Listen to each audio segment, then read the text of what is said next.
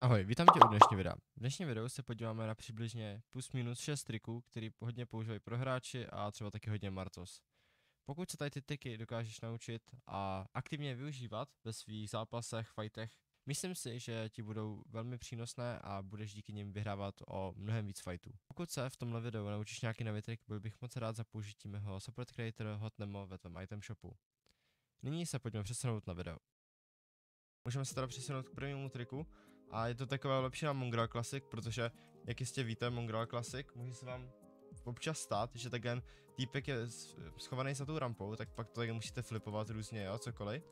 Ale mám tady jedno super řešení, jakým způsobem to dělat, uh, viděl jsem to u Noah Rayleighho, je, že dáte klasicky takhle schody a pak to editnete tímhle tím způsobem. Ten hráč buď to bude tady, anebo tady nahoře. A Bobo je pro vás docela dobrý pík, protože ještě když tam hodíme klasickou Mongra, klasik něco takovýhleho, tak ten týpek může tady, tady tou zadní stěnou otočit se a utíct. Což když uděláte tady to, se vám stát nemůže. Protože vždycky budete mít šanci ho trefit odsaď. Za mě jsou takový dva způsoby, jak tohle udělat. Buď to, že budete klasický tady ten right hand peak edit, like this, a vidíte, že tam tak, jsem tak jen schovaný a tě nemůže vidět. A nebo to můžete udělat tady tím způsobem, klidně, že tady nemáte konu, položíte, možná lepší pokládat tady tím způsobem, přetáhnete tak jen za to zajdete, tak jen se prostě srovnáte s tou stranou a střílíte. Máme tady druhý trik a to je v případě, že oponent vás taky pušuje z vrchu. Vy, co chcete udělat, nebo co nechcete udělat, je prostě jen vždycky na ní editnout, i kdybyste si tam dali nějak tu podlahu a nějak ho zkoušeli píkovat. Je to taky možnost, ale dneska si ukážeme něco lepšího. A to je v případě, když vám oponent vezme kounu, když vám oponent vezme kounu, má to tak jen editnutý, tak vy na něm nikdy moc nechcete editovat a jenom v případě, bych editoval už jenom takhle, že bych úplně jak té stěně vyskočil a zkusil dát nějaký jumpik a pak je resetnul. Ale věc, co chceme udělat, je dát uh, edit, tak jen do strany, položit schody. A jakmile položíte tady ty schody, tak můžete pak editnout klidně tímhle způsobem, protože ten oponent, tak si můžete všimnout, bude koukat tady tím směrem na ty schody. Pak už můžete udělat klasicky tenhle edit, nebo tenhle edit, anebo tenhle edit. Tak když jsme tady u toho druhého triku, tak to rovnou zkusím nějak propojit s tím třetím. A to je, uh, vlastně dá se to dělat s kounou i se schodama, like this. A můžete si buď to editnout jeden, nebo tak jen dva taily.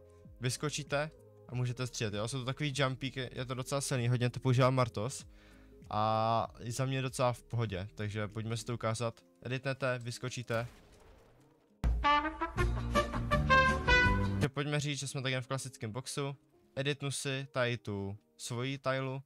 Teďka chytnu kounu Označím tady ty dvě, vyskočím a můžu střílet. Jako třetí trik pro většinu z vás si myslím, že hodně známý, ale za mě tuhle chapter se vůbec nepoužívá, myslím, že to je velká škoda. A to je prostě klasický obyčejný fejzování. Nejradši to dělám tak jen teda se schodama třeba a v případě, že dá se to použít jak když uh, bráníte svůj box nebo když útočíte. Vlastně zalezu se tak jen úplně dozadu, položím schody a teďka s nima faceu. Jak vidíte, jak to gen svítí žlutě, to znamená, že s nima faceu. Když vyskočím, klasicky se to tak jen oddělá, takže facenu, okýnko, vyskočím. Když ho nedám na one pump, tak jsem pak vlastně v této pozici, kdy vyskočím a můžu jít třeba do strany, nebo nějaký takovýhle pík zkoušet cokoliv. Další tip lomeno trik, a to je v případě, že vás oponent tak jen pušuje z vrchu, vy si v tomhle případě nic nedáváte do boxu z následujícího důvodu, že si budete legend pokládat rampu. Už jsem to ukazoval v pár videích, hodně Martos to taky dělá a za mě taky brutálně OP trik. Oponent uh, vás bude špatně trikovat, je to pro ně hodně složitá situace. A funguje to vlastně tak, že většinou si necháte vzít tu kounu, tím vlastně oponenta vyzvete k tomu, aby prostě šel i po té podlaze a bude takový mm, víc greedy si myslím, když vám vezme tady tu kounu. Samozřejmě můžete udělat i něco takového, když budete takhle, double edit, vlastně ne. Nejdřív se to jen položíte, double edit, střílíte a crouchnete. Místo teda teďka pojďme ukázat v případě, že oponent nám jen vezme kounu. Věc, co uděláte, takhle zalezete do vaší vlastně, do vašich schodů, editnete, vystřelíte a crouchnete se. Ještě si to ukážu, kdybych nedal ten bomb pump. Takže kounu nám vezme, jsme tady, Připravím si to. Edit. Crouchnu se. Jeden z docela takových hodně nových typů triků máme tady v případě, že už jsme oponenta hitli, nebo dali jsme mu nějaký damage a potřebujeme už dát třeba nějaký body shot, nebo jo, nebo nějakou shotu tady do noh, cokoliv.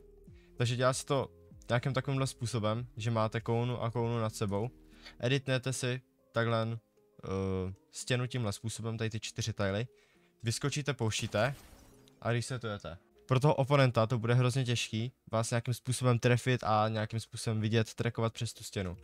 Takže takhle editnu, vyskočím a střílím do nohou. Je to docela dobrý praktisnout, myslím si, že na ty bodyshoty to je fakt jako dost dobrý. A uvidíte sami. Závěrem bych vám chtěl teda poděkovat za slednutí tady videa, můžete mi tady zanechat like a odběr, případně pouštět můj support Creator Hotnemo. Jinak koho by zajímalo, nacházím se tady na 1v1 Ethernet mapě, kterou jsem postavil společně s Michalem, takže tímto bych mu chtěl poděkovat. Jinak veškeré mapy a kódy jsou na našem Discordu, takže ale jak si joinout na Discord máte tady na YouTube, takže určitě mrkněte. A kdo se dokoukal až sem, tak mi můžete napsat téma na další video.